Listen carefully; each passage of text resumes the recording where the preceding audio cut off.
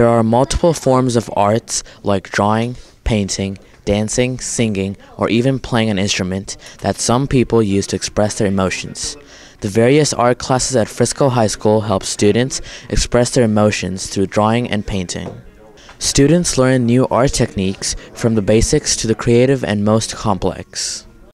Well, I definitely want them to learn skills, develop skills and techniques and processes, but also express themselves, express their creativeness, have a creative outlet for them. Um, because, you know, a lot of classes are very structured, which is fine, um, and we have structure too, but they have that opportunity to express themselves. In Art 1, of course, it's going to be the basics, so just different techniques, lines, colors, um, color theory, stuff like that. But mostly that in this class, create like creating stuff is the highest thing of learning. So he wants us to really just use our imagination and be able to get to that highest part of learning in this class. Before the assignments, he teaches us the uh, techniques and he lets us apply those techniques to our projects, and I really like uh, applying them. Learning new stuff and then trying it out. Um, on project days where we can just sit and we can just work on the project with like no interruptions. At first, I didn't think it was for me, but after I found out what what was for me, then I got into it and realized Mr. Jackson helped me find out what it, what, what was for me. Some students discover talents that they didn't know they had. I enjoy it. I think it's real fun. I like expressing my emotions through art. I didn't at first I didn't think I would be good at art until I put my pencil to paper and let it go from there. Uh, I got interested in art uh, around fourth grade when uh, I realized that my sister was also really good at it, and I took it from her. When I was probably about seven or eight, I was just really interested in cartoons, and I would just always draw them and look at references. When I started drawing cartoons, I was able to develop my own style, and I started creating my own characters, and I became interested with them because I liked the concept of them and creating my own story. Well, I definitely recommend my students go to AP. Um, now, if they want to do something more three-dimensional, uh, AP 3D, or if they want to do something more two-dimensional, AP 2D or AP drawing. But when you go to AP, you're working within a portfolio, so a whole different context, right? You're researching more, you're documenting your process, and that's really how more artists actually work. If you're interested in taking a colorful class, we have several art classes to choose from. Even though the deadline has passed, you can still check with your counselor for future schedules. For RACC TV, I'm Raven Tilamanchili. A few weeks ago, Coach Owings and his IB math students put on their annual probability carnival. What better way to promote student engagement than to have students teach other students about probability? Almost everyone enjoys playing games of chance. And what's the purpose of this game right here? So we are we made our own carnival game so that we can uh, learn probability in our math class. So we're learning what are, what we estimate the probability to be and what we actually get from people coming and testing it. How does it work? Uh, people will lift up cups, and if they get uh, the pattern, then they get to move to the next level. And if they make it to the very end, then they get a prize. When you get to the hands-on activities, then you can actually see how it works in person, and you can um, actually see like the actual uh, outcomes of everything. And uh, it's easier to learn that way because it's more interactive um, and realistic. Thank you. So our game is called Roll and Roll Again, and the purpose of this game is to roll dice to get a certain amount, a certain number. In our case, for the first set of dice, we would get, need to get 14 or higher. For the second set of dice, if I can see the dice, for the second set, which are 20-sided dice, we would, need, we would need to get 60 or higher for it to progress. If they get the first set of dice, they get a small prize guaranteed. If they roll and they get more than 60 on the second, they get a large prize. The IB math students develop various ways to collect probability data through the games. This particular game is designed to give you either a small prize or a large prize. Basically, you get three tries to roll, and depending on whether you get an even or an odd number, you move up three spaces or down three spaces. We're basically testing um, probability um, by rolling a dice three times. And the calculations that we're going to do after are we're going to basically calculate the different probabilities of winning a small prize or a large prize based on the way that the game board is laid out.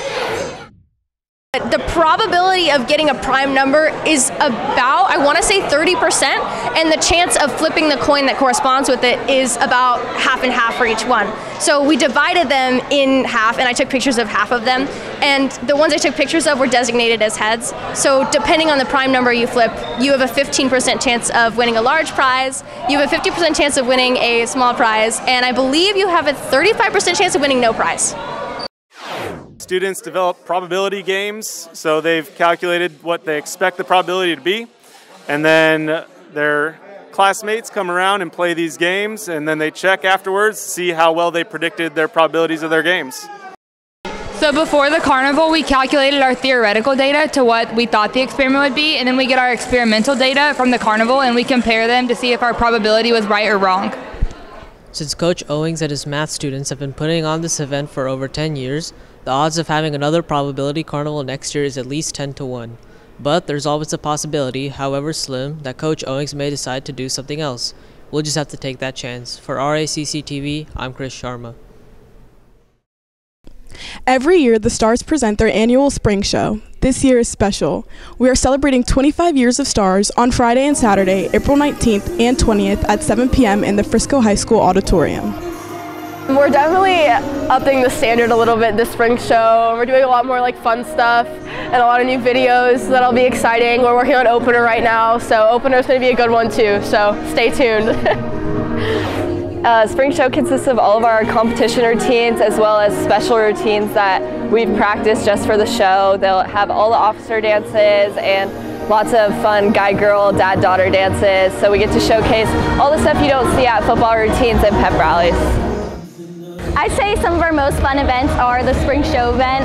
Uh, it's so much fun. It's really just to showcase all of our dances, less pressure, less like nerves than we have for competition. So it's really just getting to do all of our dances for fun one last time. And it's always fun to do like our opener and closer every year, especially because our closing is like a tradition here. So it's a lot of fun doing that every year.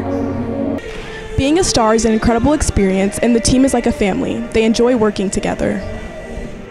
I enjoy most about being on Stars is kind of the community we have. We're all super close and we all love being around each other. This is a big group just like my friends that I love being around. And being able to grow together is just so special to me. So it's very much a family. I think the biggest thing for me is the community that we've created on this team. It's been so special to be able to grow with this team throughout the years and get to know everybody coming in, get to know the younger classmen.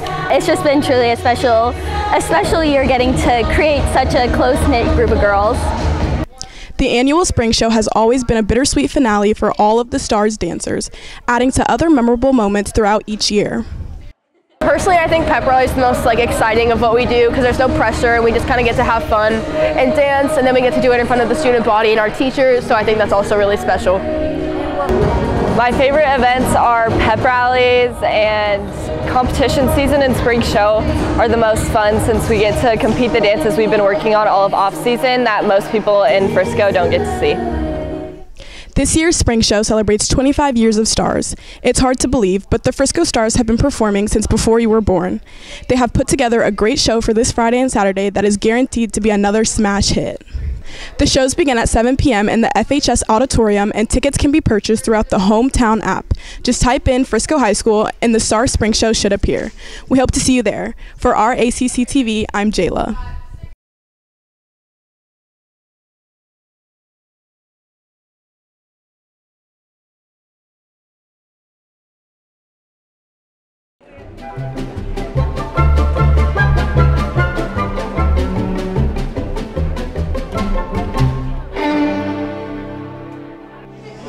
When you go to Chick fil A for a meal or to a nice restaurant with your family, most people don't expect to see trash on the floor or on a table.